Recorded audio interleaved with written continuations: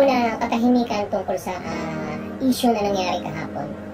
Ah, dahil po lahat ng ah, involved kahapon o involved doon sa nangyari, kaya pawa pong ma- malalapit po sa akin, ah, sa akin, sa akin, personal po at ah, mga kasamahan po naman natin dito. Ano.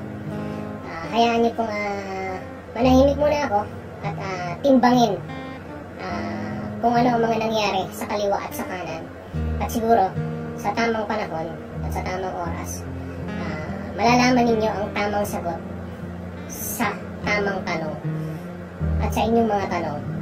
So, ah, yun lang mo po. Ah, in respect po pa rin sa kanila. Hindi na po sa akin.